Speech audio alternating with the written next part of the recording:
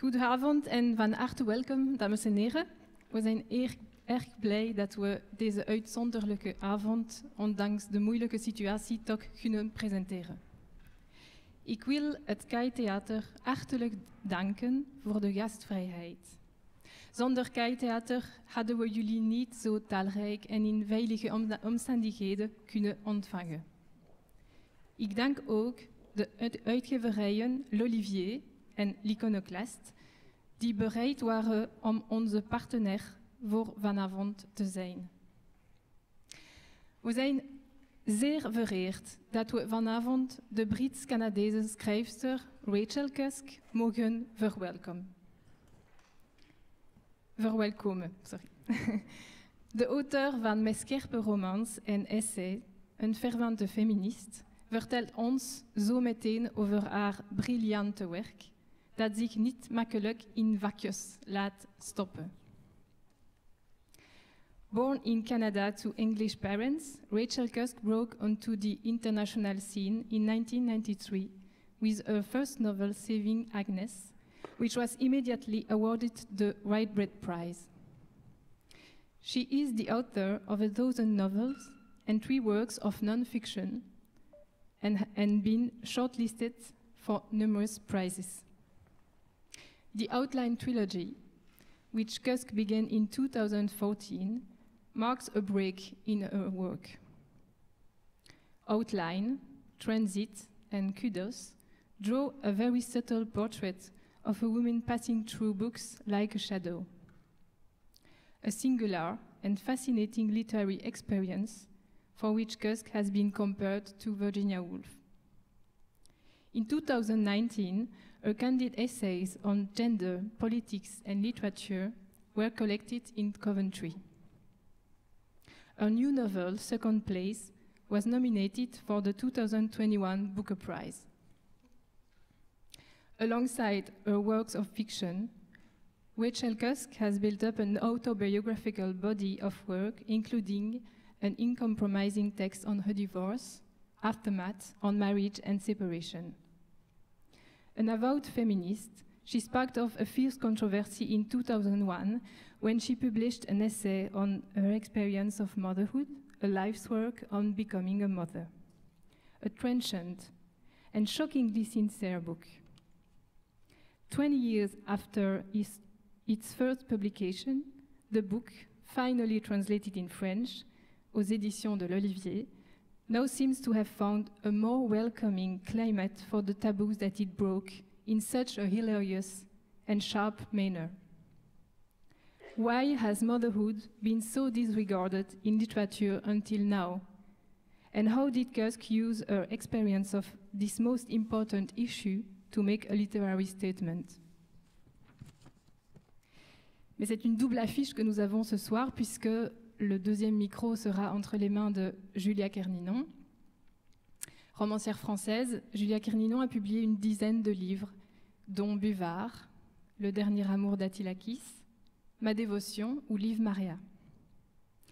Docteur en littérature américaine, elle a consacré sa thèse aux interviews d'écrivains, une thèse publiée dans une version simplifiée aux presses universitaires de France, sous le titre Le chaos ne produit pas de chef-d'œuvre, et qui se penche sur la fabrication du mythe de l'écrivain chez John Steinbeck, Ernest Hemingway et William Faulkner et qui se lit euh, précisément comme un roman.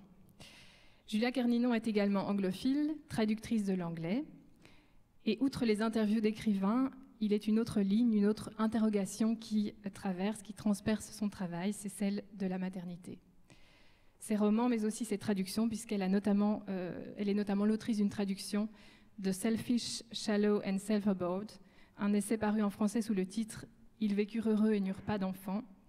Un livre courageux, percutant et très nuancé dans lequel 16 écrivains expliquent pourquoi ils ont pris la décision de ne pas avoir d'enfants et auquel Julia Kerninon offre une préface intime assez bouleversante. Et puisqu'il n'y a pas de coïncidence, en cette rentrée de janvier, Julia Kerninon vient juste de faire paraître Toucher la terre ferme aux éditions de l'Iconoclaste. C'est un essai personnel, euh, incandescent, qui examine ce qu'avoir des enfants a changé dans sa vie de femme euh, et surtout d'écrivain. C'est un livre galopant, euh, un autoportrait incroyablement vivant, vibrant, et qui se trouve tendre un miroir contemporain passionnant au Life's Work de Rachel Cusk. Mais il sera question de beaucoup d'autres sujets que celui de la maternité ce soir.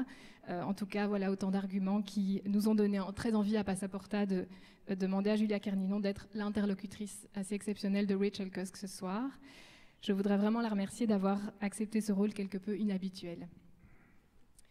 After the meeting, Rachel Cusk and Julia Carninon will be available to sign uh, books en français, in English, and in the. Before we begin, could you uh, please check that your phones are on silent mode? And I wish you a very pleasant evening. Thank you.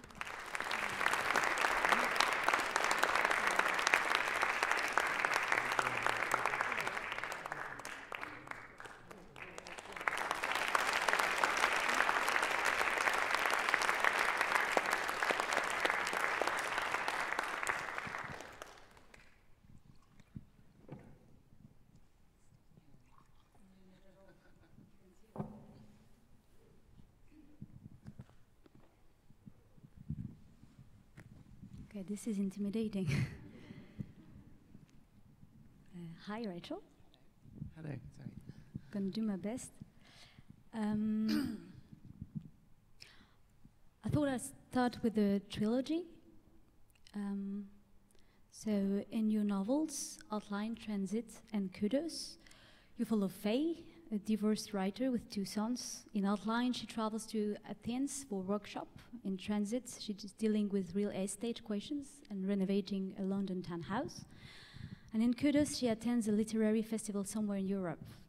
Apart from that, we know very little about Faye because the books are mostly about what people tell her. She meets various people, some strangers, some old friends, and she listens to them and observes them. What I was thinking of is maybe you're familiar with Ernest Hemingway's approach, uh, ap- apocryphal qualification of his own approach of autobiography and memoir. According to Mary Hemingway's last wife, he described what he was doing in A Movable Feast as biography by remate. You heard that? Um, remate comes from the Spanish rematar, which means re-kill, and means a two-walled shot in Jai Alai, a sort of squash game. If I'm right, as I'm not too sporty myself. Mary Hemingway told the New, New Times Book Review that what he meant by that was that he was telling his life by reflection, possibly through the portrait of others, such as Gertrude Stein, Ezra Pound, and Scott Fitzgerald. It seems actually that Mary Hemingway's Spanish was not too good and that she might not have gotten it too right. But if the legend is better, then print the legend. And I thought again of this story while reading this trilogy because you too seem to make the portrait of Faye through the others. So, can you please comment on this and maybe tell us how you came to this idea for the structure of choosing a narrator that's that telling about others rather than herself? Hello, everybody. Um, sorry to be speaking in English, and sorry to make you speak in English. Um, so, it, I mean, it's strange for me that um, this book, A Life's Work, has that I'm talking about it now. I guess because it, it not only is it uh, 21 years old, but uh, the the beings that it describes are also 21 years old. So um, it feels like a, a, a, kind of remote landscape. But in fact, you know, thinking about your question, um, I think that what I realized in that book was that um, the, the forms of female existence um, couldn't there were no literary forms for them. There were no literary forms for this kind of writing, and, and that, that I suppose to deal with this experience, I had to uh, split my idea of literary form in two and, and um, write a memoir, or, you know, that was the kind of available word for it then. I mean, I think now ways of writing about the self have, have rightly become more nuan- nuanced and more complex. But at the time, memoir was the big, vague category that, that you know anything that, that wasn't pretending to be something else could be put in. And and um, I guess by the time 20 years later, I got to the trilogy. Um, that feeling of having to um, use self, having to use identity. And even though I tried to use it in a way that was as almost impersonal and universal and non subjective, not about me, not about my specific baby, but about a baby, not about me specifically as a mother, but a mother. You know, I really tried to, to pare away as much subjectivity from it as I could, um, that it's still, you know, in a sense, myself was the only thing I had to sell, in, in you know, the only property I had to write about these areas of, of womanhood. And, and um, the feeling suddenly, thinking about writing the trilogy, that, that, that actually I had defined a whole, all these sort of territories kind of around sort of with a, a bit missing in the middle um, and, and, that actually I could could inhabit that middle bit and uh, look at the world from a um, a different basis of, of identity, I guess, of almost a feeling of non-being um, rather than the being that, that had had to guarantee, you know, everything else that I'd written. This is extremely interesting, but I have to go slowly. uh, then would you say that maybe the form of the memoir what seemed at that time to be the right one for you because it uh, guaranteed you a sort of legitimacy? Because when you, it's hard to speak about motherhood if you don't speak as a mother, isn't it? Or would you have felt that you it was possible to write a novel about mother if you were not a mother yourself? Well, I think the areas that I was interested in, you know, it was this feeling that every time um, one arrived at a, a, kind of um, central experience of womanhood uh, that, that is absolutely part of you know, a socially constructed experience that is also a personal experience. Um, that there was this feeling that, that uh, not, that, not that people necessarily lied or, or you know, misled um, one another about the nature of these experiences. But there was a lot of fog around them, and, and I think particularly motherhood, there is a great um, pressure on the individual in that experience. That, you know, the whole there is a huge social, moral, and emotional weight that bears down on a woman at that moment, and you know what what um, it, that doesn't seem an occasion uh, for, you know, the first thing a woman in that position is going to think is that, that she's made a mistake, there's something wrong with her, she's done something wrong, rather than uh, to, to interrogate how that experience has been represented. Um, so I think that, that you know, it really felt like that saying I was the most essential thing, um, because saying anything else really is, is to, to um, almost create, I don't know, a, a more fog ar around the subject. Um, that there are some experiences that are so challenging personally that to talk about them in any way other than personally uh, is, is really to betray what that experience actually was. I have a confession to make is that I read a life's work years ago before I had kids myself. And because I'm a writer and because everything in my life has been structured by literature, the books that I've read more than the books that I've written, obviously, when I was thinking about having kids for the first time, I was searching for books where actually women writers would speak about what it was like. So I read your books, and at that time, I didn't like it very much because it makes me really uncomfortable. And you know, there was something that had to do with the um, the proud of the non-parents that think that he would do better, that he would, you know that. Well, it says it in the book. There's yeah, a passage yeah, yeah, in the book totally that says exactly that, That's that. why I dare to tell you that. And so I, have reread the book recently to prepare for this, and uh, I find it brilliant, and it makes me laugh a lot. And I felt that what happened in the meantime, obviously, is that I gave birth to two sons, and now I can hear you Like it feels like now that I've crossed that river and joined you on the shore, I can hear your message, but it is too late to turn around now. Whatever serious lesson that you've given me and other people in that book, I could only hear it now that it's too late. And we will have to stay on this shore forever, you and I, obviously. Um, but what you said just before,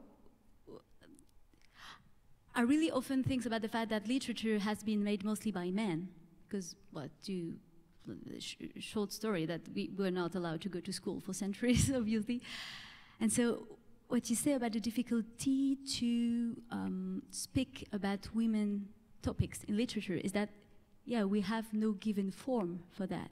So actually, are you saying that you had to invent a new form to speak about women um, problems, topics, um, um, subjects, questions? I'm not. I'm, I'm, not sure I invented anything, but but I certainly um, sacrificed something, and you know the decision to write about this subject. You know, before I wrote this book, I'd published three novels. I, I was a literary novelist, um, and there was a, a clear, um, even before the book came out, a clear attitude uh, from you know the, the, people in my working world that, that essentially this was a subject that was beneath literature, and that to write about it was really to um, hand in your or surrender your intellectual credentials. Um, and what was very, um, I suppose, I mean, unfair in a way, but, but uh, you know, what, what made the situation kind of a, a sort of checkmate or catch 22 for me was that when the book came out, there was another group of people who were women who felt that um, by intellectualizing motherhood, I had betrayed something uh, or, or, made um, something of it that that um, that they repudiated, and, and indeed that that I mean, it was said to me, how how could I possibly consider myself to be a good mother if I had the time and the energy to uh, write something like that and to you know craft something of, of literary value. So, so in a sense, the book um, had no home. It had no uh, place in culture. And, you know, when you create something, um, you know, I would like to think that, you know, I never think about needing to place something in culture, needing there to be already a, a, a space or category for, you know, where what I have to say is known. I would like to write something that is unknown. And, but it did the experience of, of this book floating in, the, in this sort of homeless way, um, very attacked uh, as well. Um, and then I suppose I began to hear from um, actual readers and began to see how it, it did something. And okay, for the, the reader who hasn't had children and, and um, you know, that, that I guess, gets to the very, very heart of what I'm trying to do in this book, which is um, ask the question of whether there are certain experiences that are incommunicable, uh, that, that you cannot, you have to experience them to know them. You cannot know them without experiencing them. Nobody can, uh, I suppose, create a representation of those things that is in any way equal to, to the thing itself. Um, and, and, so that again is a reason to have a book, to as something you can say, oh, I've I've changed. The book is still the same, and I've I've changed. But it's funny because I, I started my question with uh, the form of the trilogy and how you felt like you invented something. And actually, what you're coming back to is that the topic of your book about motherhood was in itself something that could not find it, its place in literature so it makes me wonder, yeah, if it has something to do with the fact that literature has been so massively masculine, so that even we as women, like we we have this way of being women. So most of us maybe we experience the thing motherhood and giving birth and I don't know living with men, all this, and even to us maybe it doesn't appear as literary subject And still, with your books 20 years ago, you sort of opened a breach in that, saying, I am trying, I am doing a book about this. And so I'm somehow trying to give a place for it in literature. So you just, you know, dig a hole somewhere where maybe others could also dig afterwards. And have you think about it in this way? Did, did you feel like you were a pioneer or? Um, I don't know how a pioneer feels, but I imagine they feel very alone, very cold, very tired, and not very supported. Um, so yes, perhaps I, I did feel like that. And um, I mean, I think the, the you know, there's an essential, uh, and one doesn't think too much about, you know, it's only af- afterwards that you look back and, and see what it is you've done and take a view on, on what that is. Um, it certainly seemed to me that, that uh, the it wasn't a responsibility or a, a, duty exactly, but but for whatever reason, my impulse was um, to.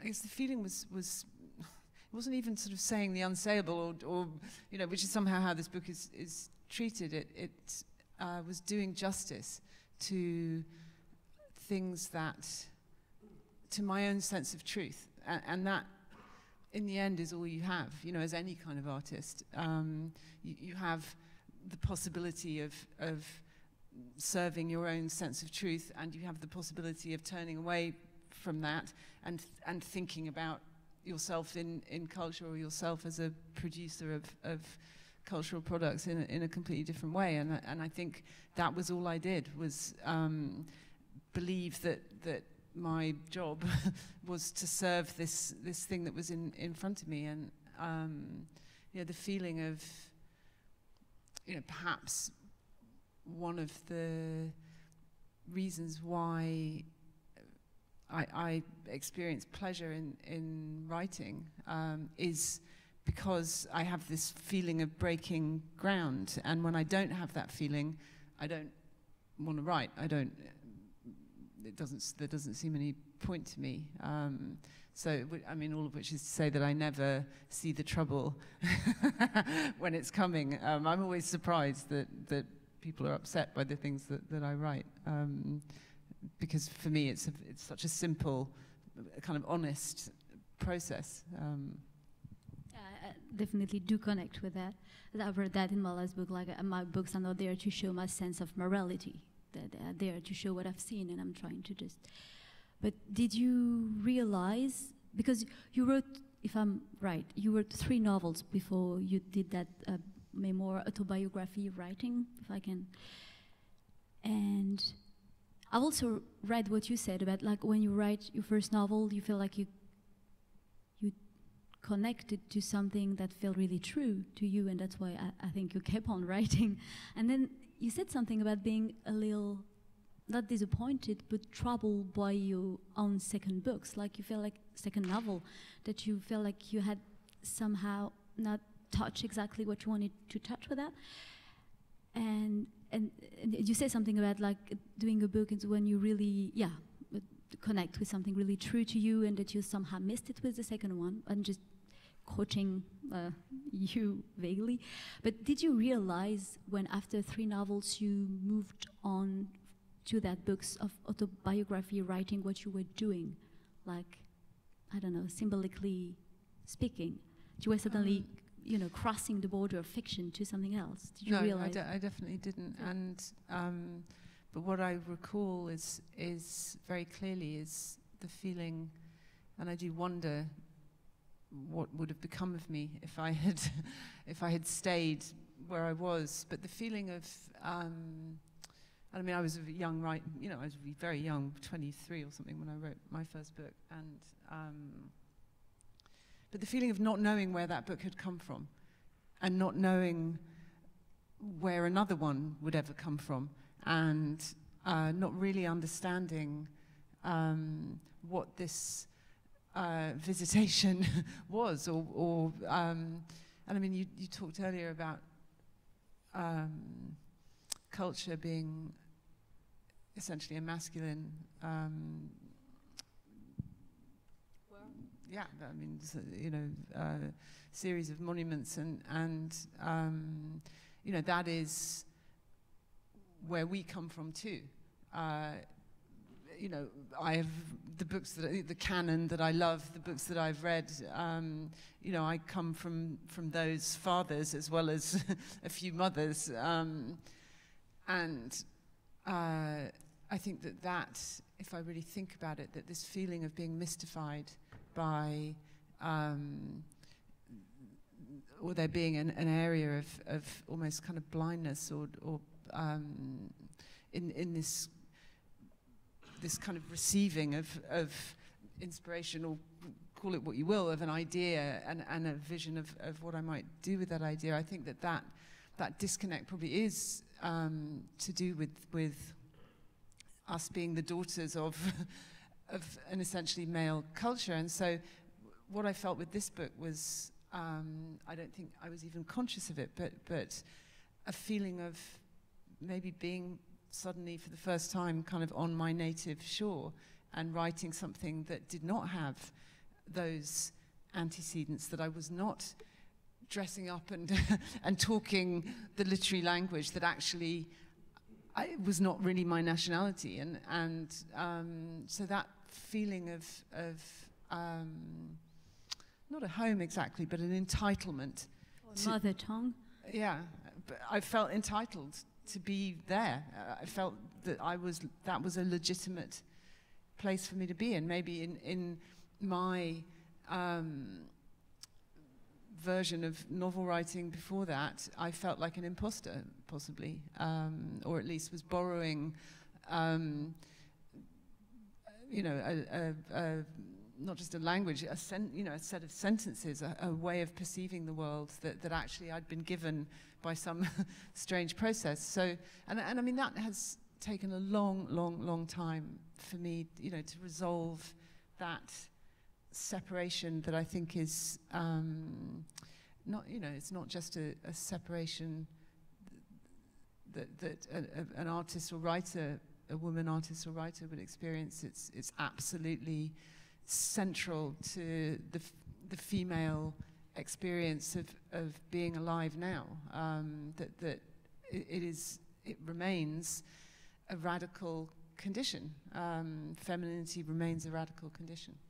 And would you say that because um, from what I've read, you've always been writing as a kid, and then when you were I don't know maybe I'm going to be wrong 20, 21, 23, you decided to take some time to write your novel so you isolated yourself and write this, and you, you I don't know, I think I have somewhere the quotation, but you, you, you speak about, yeah, just taking it very seriously and trying to learn how to write and everything. And I think I would like you to comment on that some, some time. But also, um, were you able to picture yourself when you were that young as becoming possibly a writer when, as you say, all the writers that we love because they are the writers that we know, actually the classics. When you when you ask what's a good book, what's a classic, you always end up with a most often with a, with a book written by a, man. I'm asking uh, because that was one of my central questions myself when I was trying to becoming a writer. As I was this very um, um, wise girl growing up not in Paris and everything. I wanted to be a writer more than anything, but then I thought, you, you cannot be a writer because you're a girl. This is not possible. And it was very hard to find a role model to teach me how to do that. So, did you also um, have to find uh, your way with that? Is that how did you picture yourself as a writer? How did you give you permission to be a writer when you were a woman? Um, I think I thought that writers were all dead. I don't think I knew that you could be a writer. Mm. I definitely didn't know that. Um, I didn't know that living people did that. Um. but that, that, that's very fun because you, you did it um, earlier than most people actually. Because I've read that sentence somewhere that I find like brilliant. You say, "Yeah, it was weird to be in my late 20s and being a writer, professional writer, and having my own house in London. And I could picture you, and I was like, eh, it sounds like a dream life. But also, I could sense how it could be confusing to suddenly um, arrive at that place also of success, because success and, and failure are parts of, you know, writing life, obviously. And so, how did you feel when you were, you know, a professional writer? And I don't know, how, how did you picture it to yourself being there?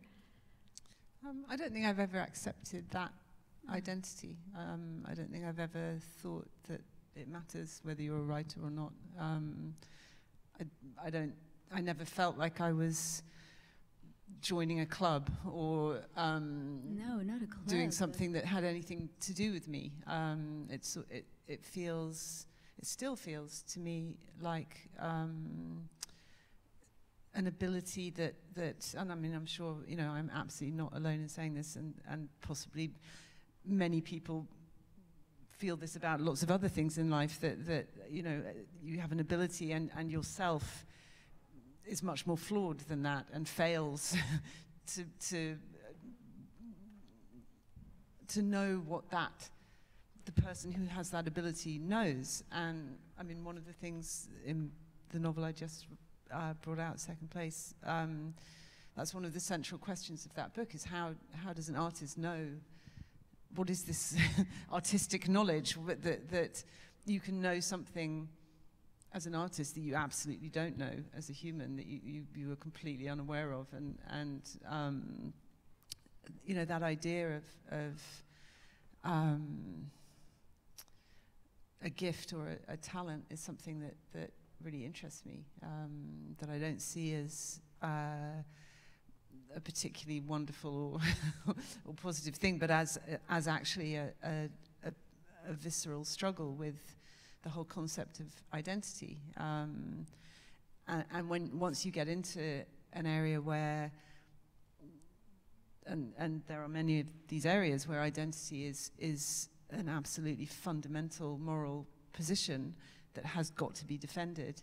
Um, how that, because I think creativity is amoral and, and it probably actually doesn't have any identity at all. And essentially, you know, what we've been talking about of, of having a, an identity that's, um, I mean, I think I just described it somewhere as being almost kind of transvestite um, aspect of femininity where, where you're receiving male values and sort of walking around with male values and then kind of having to, to speak as a woman. Um, you know, those, that conflict is, is um, you know, in the end, I don't know what this talent, this that people have this ability to to um, to utter and, and give expression to themselves, um, how much it owes to identity. Um, mm. you know, I could have, I guess, uh, completely ignored the fact that I was a woman and gone off and, and written about a lot of other things, and I think I would have had a far easier life if if I'd done that. Um, for whatever reason, knew that those two things had to fight it out in in my case, and I think probably in the case of of um, anybody who whose identity is is either still evolving or is uh, disempowered or or in question. Um, it's more important than ever to to hold your grip on um, the reality of the self and of lived experience, and, and those two things fight it out to the death, as far as I'm concerned. I've seen you respond to a question in an interview with someone ask you what was more important to become an artist or writer, and it was it was asking you to choose between talent and work, and you seem to be thinking a lot, and you say, "I think." Just stop me if I'm wrong, but it, it was incredible for me to hear that. He said, I think that the most important thing is desire. Desire is something that we usually describe as being secondary. Like everybody speaks about the needs. I, I, it's like Beckett, you know, I, I'm no good to do anything else. And I'm always a bit scared when people, artists, when they describe their artistic practice as something that they need to do when I think that what we desire to do is much more telling about who we are, and also it put us much more at risk, Mm. and it risk that interested us probably. And so I really just blew my mind when I heard you say that. And I thought that the girl that you were when you started to write must have been full with some sort of desire. What were you trying to do then when you were alone and doing your first book? And you know, I, I don't know. I do believe that there's a huge difference between the first book we write and all the others afterwards. Because the first one we write, we do it outside of the public eye. And even though we somehow desire the public eye, because we write book in order to get published, because that's what book are supposed to be, to say it simple. We desire to be published, and once we are, we can never go back. And somehow this looks a lot like motherhood Mm. and you know and then you will never be able to write in the same anonymity but also in the same silence when you Mm. don't know what people think about what you're doing what you've done Mm. so how was it for you that wh- what what kept you writing that first book and how was it when suddenly you started to have a public persona after Mm. that That's interesting. Um, that's a good description of um, the what, it is to create things without any sense of of um, them being, I suppose, taken away from you and and having having their own life in the world. And, and in a way, it's a kind of innocence, actually. Um, I think that. Um, I mean, I've met, you know, many writers um, in my uh, writerly career, and I'm really aware that that many of them started much further down the road than I did, possibly because they had had more enlightened childhoods. Um, they they had begun somewhere higher up the mountain, and and I began right at the bottom, and so I think that. Um, my first experiences of creativity were um, a huge, uh, almost like dismantling of what had happened to me and who I appeared to be and who my family said I was, or who, you know, essentially a ridding myself of um, all of that. Uh, I guess, misleading um, and very cumbersome um, information. Uh, I think that there's a, I mean, I'm a strong subscriber to the um, view that, that artists are people who've never left childhood or whose, whose attachment to, whose childlikeness was never actually disrupted or, you know, either because they didn't work things out or they didn't what they wanted weren't the things that other people wanted that that caused them to, to suddenly enter the adult world and and um, so I think that that strong um, desire to uh, essentially release or or sort of chip away at, at what was um, surrounding this this particular self was a, a, a very strong motivating factor. It, it felt uh, like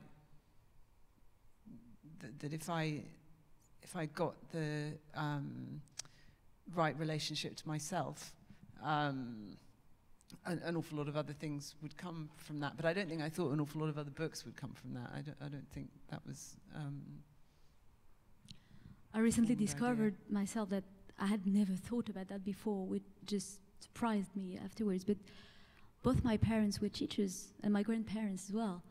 And I just recently found out that probably the main reason why I, I choose very early to become a writer is that because I wanted to have authority. Because a house full of teachers mm-hmm. is a house where everybody's trying to have authority on you. And I think I've been through that again when I had my kids, and my parents wanted to teach me how to be a mother. It was like, just stop it now. So have you think about that? That you, that maybe you became an author, maybe you also to regain authority on your own life, person, personality, life afterwards? Was it a way to have control, but also wildness Mm. to get out of the, um, you know? Well, I mean, I think that the job and impulse of any artist has got to be to break the version, break the version of life that everyone says, that everyone subscribes to. Everyone says, yes, it's like this. And you have to think, no, it's not. Because I think actually a lot of people think, no, it's not. And then think, oh, well, they say it is. I know it's not, but, but we'll just go along in this, in this sort of half. Yeah, I think many, many, many people um, at different points in life feel a pressing need to to know what the truth is and there's this idea that that's what art is that art is the place where people say what the truth is. And i mean sometimes it is and sometimes it isn't. But um, but I, I certainly think that the impulse to create is very very close to um, to that I suppose it's a desire, not, not even a desire, but a, um, an impulse to correct the drift off into uh, subjective versions of how things are, stories, um, exaggerations, uh, mislaying of detail, um, and you know any child um, growing up in a family hears that happening around them all the time, and and um, you know you go somewhere with your parent and you both witness an event and you go home and your parent describes that event and you possibly think that isn't what happened. And um, you know those were my formative experiences was thinking that and um, yeah so I think that that was a, a, a strong um, beginning for me um, And how would you, you yourself personally, would like to describe the difference that exists between fiction and reality? Because you've written fiction, also written autobiographical writings, and then in the trilogy, you're, you seem to just transcribe um, mundane conversations but then obviously that's not what you're doing. You're doing something else.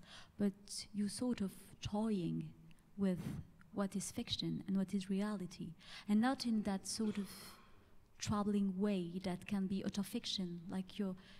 Because I could ask you what in the trilogy is real, what have you heard in the trains, or what people have confessed to you, but unless you want to comment on that, I don't think that's the point.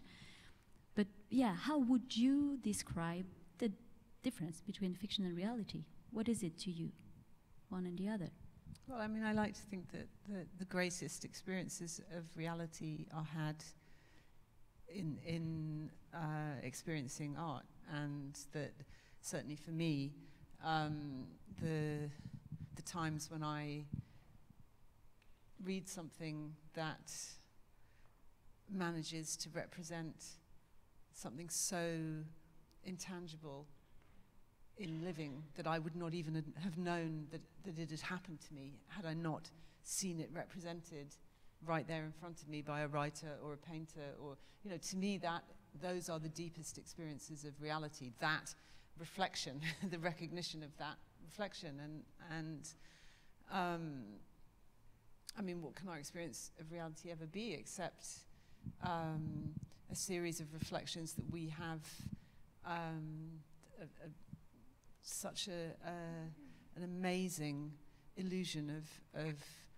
control over, of you know us being us and seeing what is not us, and um, you know any trauma. Um, the first thing that happens is that that belief in reality begins to break down. Um, you suddenly start to see through it. You suddenly see it's just that you believed in in various relationships, believed that you know this is how I don't know your your town or village acts. This is how your country acts. This is how the people in your life act. Th- these are the things that, that are real. And and um, you know that I mean some of the memoir writing that I did after a life's work. I mean particularly aftermath was very concerned with with marriage as a whole lifelong belief state um, that that uh, yeah that once it, it begins to break down um, the, the questions of, of about reality are are um, absolutely overwhelming um, so so I guess that's been my interest um, and particularly, I mean, to, you know, I've been talking a bit about a life's work lately, obviously, because it's just come out in, in France. And um, it, yeah, it's kind of interesting that, that the fact that I wrote it um, not when I had my first child, but when I had my second child, because when I ha- had my second child, only then did I realize I had entirely forgotten the whole, all of these uh, intangible, mysterious, but very, very, very real um, aspects of, of that experience. It had all gone. And I mean, I'm sure there's perfectly good biological reasons why a woman's mind is wiped clean like a slate. um, but, but, but, indeed, that had happened. And, and um, you know, so I think once something like that has, has once you've seen that, um, the desire to, to be the chronicler of that underworld, of that other world, um, that, that, that is not directed by personality, you know, that it, and that is directed to a degree by biological fate, by geographical fate, by racial fate, by you know how whatever form and shape you're put on this earth. Um, you know, is that the thing you're going to believe in? Is that what, what you're going to believe you are? Um, and anybody who manages to create some distance between their, their actual self that has no identity and this set of facts um, has, I suppose, for me, a, a maybe deeper relationship with, with reality.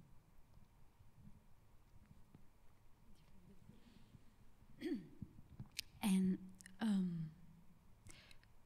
you say that, not here, but other, other word, you say that you, you say that because of motherhood, as from what I've understood, motherhood forces you to deform what would have been your natural way of working. And you say that you usually um, spend a lot of time not writing, not working, just thinking and living what you call a normal life, which I believe it is, and, and, and just thinking your whole book until you have it almost whole or even whole in your head. And then you sit and you write it in what is relatively a very short time compared to the time that you think about it. You correct me if I'm saying anything wrong, right?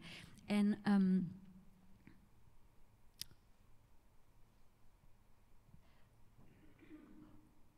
what are the sort of things that you would not put in your fiction work because you would think that it is too mundane, too not fictional enough? And also, what would you not put in autobiographical work? Because, you know, when you, I, I do think, and I think I'm not the only one, when you write autobiographical writing, you always have to manage the balance between what interests you, what might interest other people, and more than that, actually, how do you manage your own fiction? Because we know that every time we speak, we are making fiction, actually. We're just telling our own version of what happens. I've had this discussion with uh, Freudian people, and I thought I was about to kill them over a bottle of wine because I saw that I said that I've written autobiography, and they said, "No, you had you have written fiction." I was like, "Ah, this is autobiography." you get that? They enjoy annoying people. Yeah, they're shrinks. Yeah. They're like, "It's all fiction." I was like, "It's not fiction. Fiction means something," and so this is this is tricky when you write autobiography. How are you sure that you're not fictionalizing things too much? And when you write fiction, how do you manage not to put in it things that are just straight from reality? Mm. You know? Because the books are different. The books you've written, even though we don't care about labels, they are different books and they are labeled differently. And I believe you've choose how they were going to be presented. So what is it that you take out of your fiction books because you think it's too real? And what is it that you take off of your autobiographical writing because you think it's too fictional? Is it Um, what is your limit? What is your criteria? I think I use a really similar process for both things, even though they are, as you say, different things. And to me, it's much, much more important to be very careful in autobiography, um, not to use personal material. So, which might seem like a contradiction in terms, but that that has very much been my process. Um, I mean, just to give an example, um, so in my childhood and youth, I was sent to a, um, a harsh Catholic convent boarding school. So that was my schooling for years, and and uh, it was a unhappy experience. And you know, I've often been asked why d- why haven't you written about it? And I think I would never write about that because that doesn't happen to most people. That's not something that other people. I mean, it happens to some people, and I guess there's a way of writing about it that, at best, you could set up a correspondence with other people's experiences of I don't know, being confined, having their, you know, being in some institution with their liberty restricted, where they don't want to be, and where they're separated from love and other things. Um, that would be the best you could do. Anything other than that is just anecdotal. You're just telling stories about what happened to you, and um, you know, I certainly do use what happened to me because that is uh, all, all I have. I mean, that is the only evidence of reality and truth that I have. And so it, it's important to um, stay very, very close uh, to, to what you know. But I mean, it really is. And um, I, used to, I used to have, uh, I mean, anyone who teaches creative writing, which I did for many years, um, you, when you meet the creative writing student, you're meeting someone who holds the very, very opposite view of the view I've just expressed and who has been told their whole life that writing involves um, enormous amounts of making things up and imagination, and that that uh, the very moment where they're going to to sort of swerve away is is the moment when it's most important for them to tell the truth. Um, so my rule was that it anything in the book either has to have happened to you, have happened to someone you know very well, or someone you know very well has to have told you about it because they heard it from somebody else. But that sort of third hand is about as far away from yourself as, as you should ever actually go, which um, I don't know that any of my students ever took that advice, but, but that's, that's my um, method. And it means, uh, it means having very strange relationships with other people um, sometimes. Uh, and in a novel, I, I feel very differently. I feel um, that life shows itself, and that, and that a novel is not, not so much about um, a, an account from inside an experience. It, it's, um, it's a reading of the terrain of life. And, okay, that terrain is read from, from a perspective and for me, one of the really, really, really interesting things in the trilogy was uh, realizing that that perspective um, could be essentially filleted of, of everything that, that was confusing about it, and especially filleted of its implication in the writing of the novel itself. You know, the novel did not have to know all these things, um, apparently because someone was supposedly narrating it or, or, or seeing these things. You, you, know, the world can show itself perfectly well. And, you know, the, the, if you set yourself the ambition of um, showing things that, that anyone would see if they happen to walk past, if that's, if that's your your technology, if that's all the technology you've got, which was essentially the challenge that I set myself pretty much with the trilogy, was like, okay, you know, anyone kind of sitting and, and listening or looking or, you know, would get exactly the same information as, as the book has. So there's no information that the book has that it's getting from some mysterious place um, about what happened in the past or what someone's thinking, or because you, we don't know those things about others. And you know that that was, I suppose, as far as I could go with um, this reliance on essentially the world to tell its own story.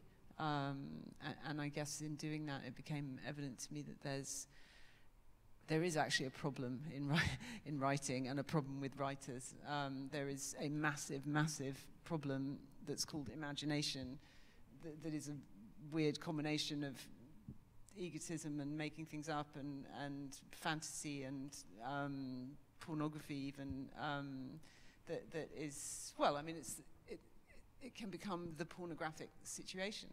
Um, that, that it, once you are aware of that, um, you're designed not not to do that. Um, and you know there are plenty of other writers who've made that same discovery. And, and in the end, the retreat to the domain of the self is, is the safest way of, of um, yeah, kind of taking a vow, I suppose, not, not to um,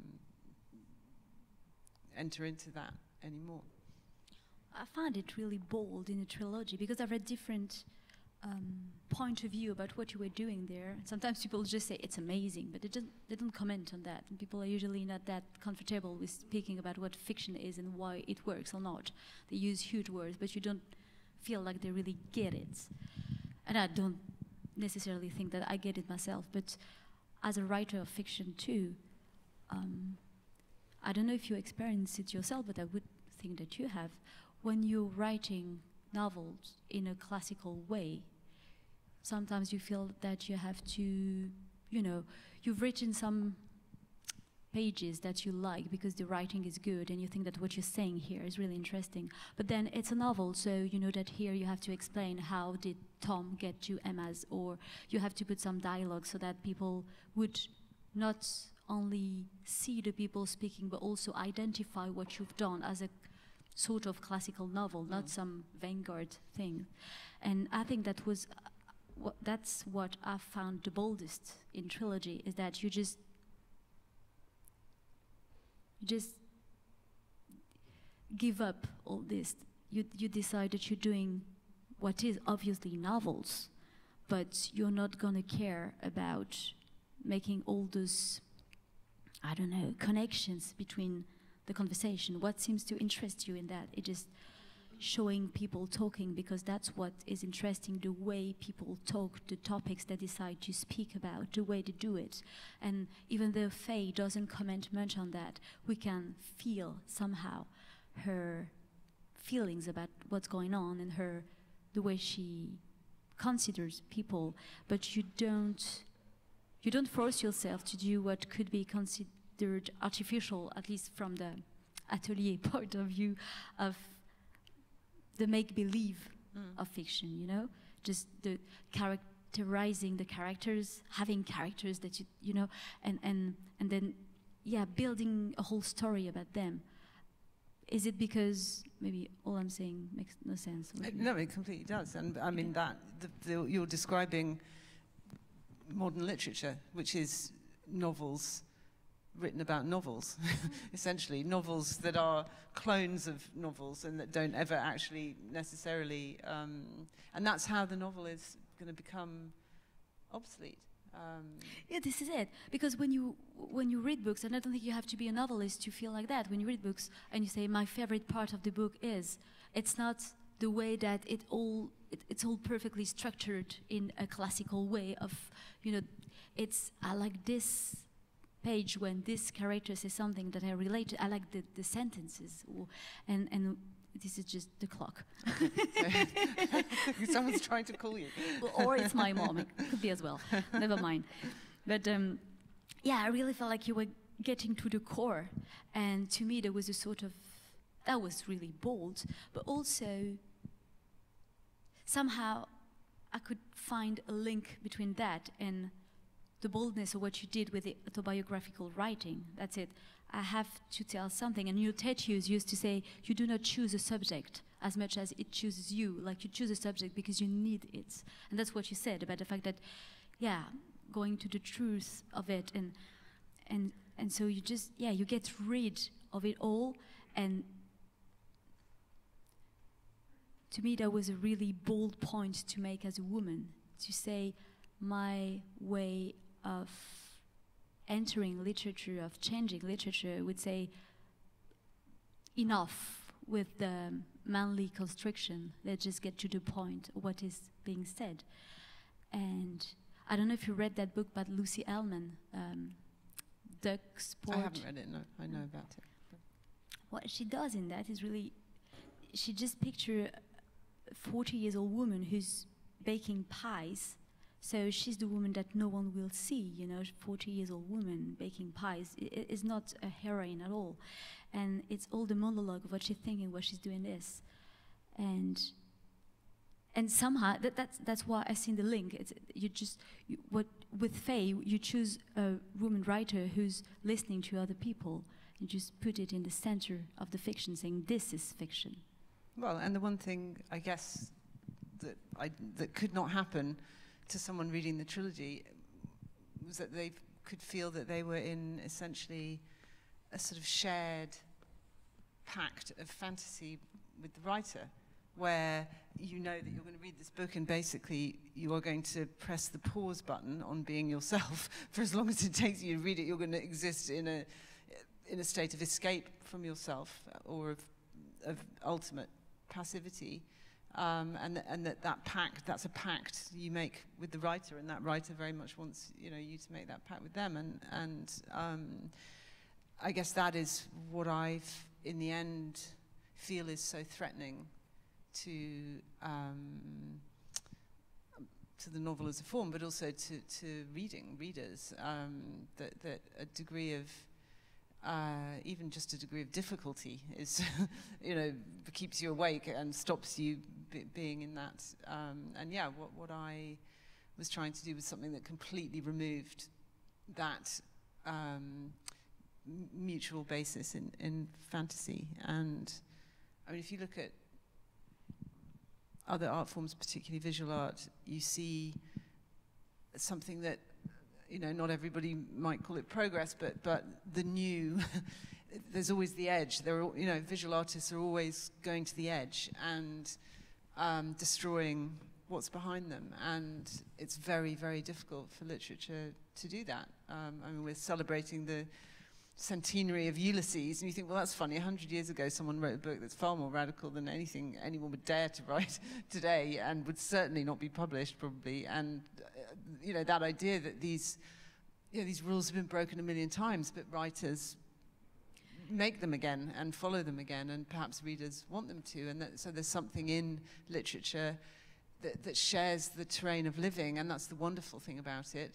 it but it, it also means that if you want to um,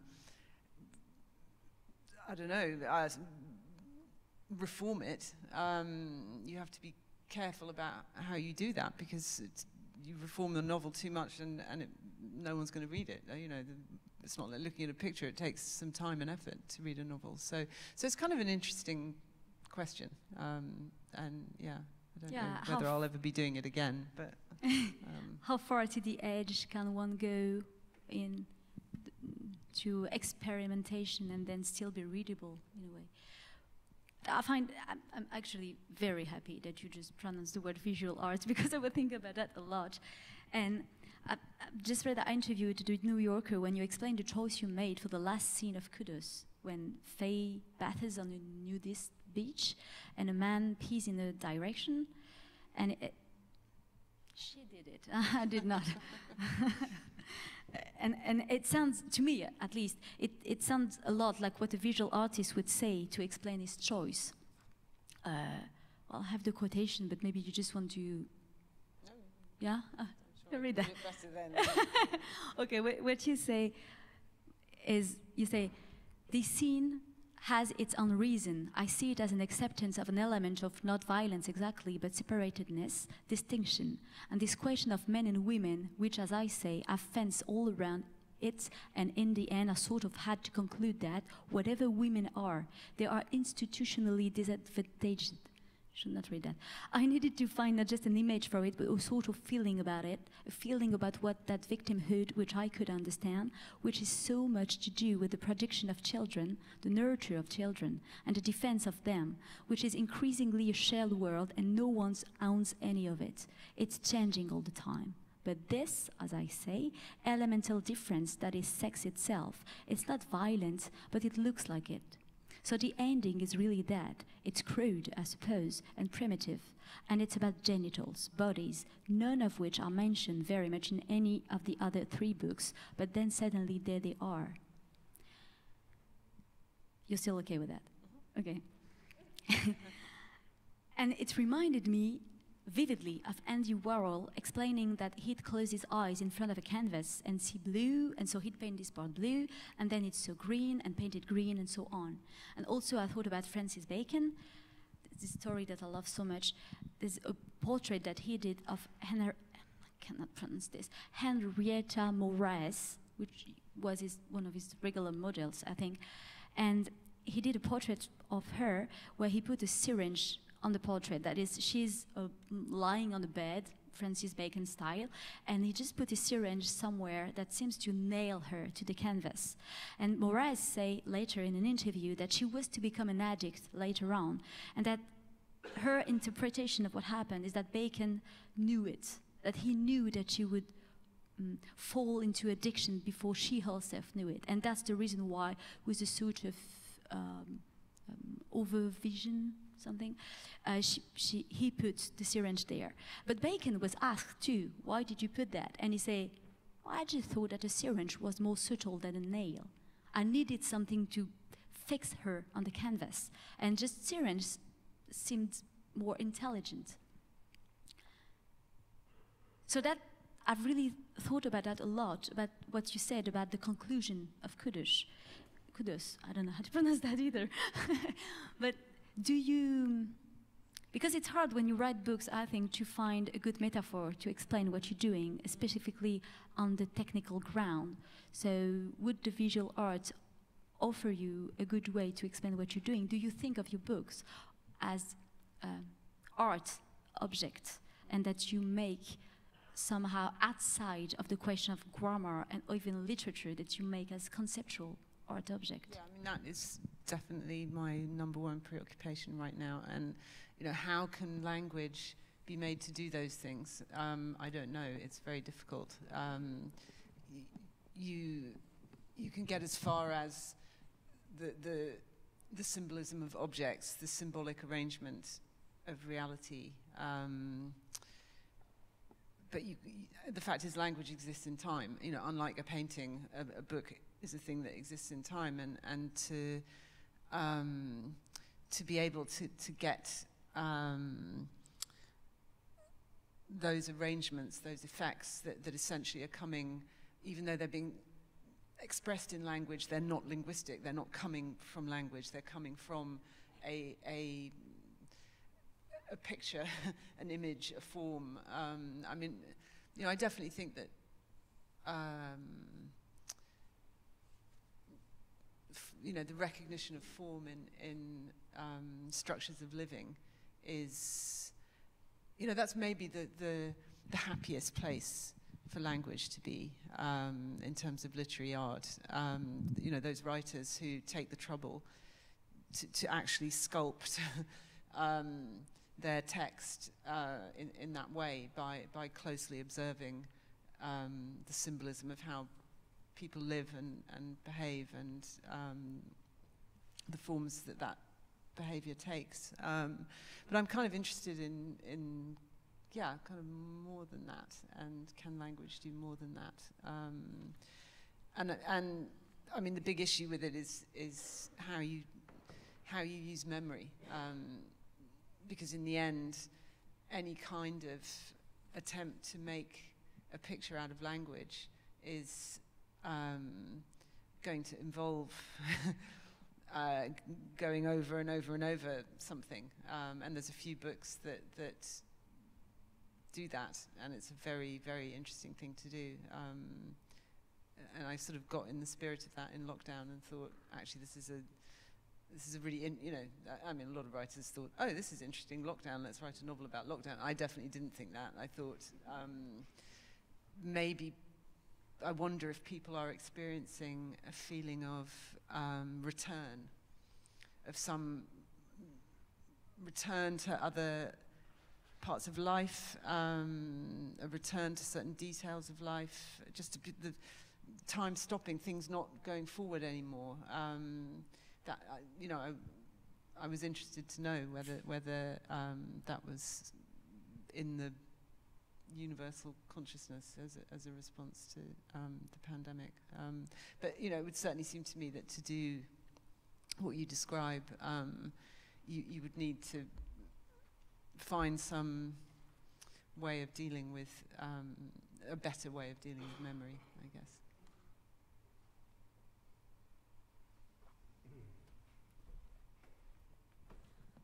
That can be the end. if you want. I'm wondering- yeah, maybe that can be the end. Okay, I have other questions, but yeah, how about that? Thank Let you so much. Thank you, Rachel.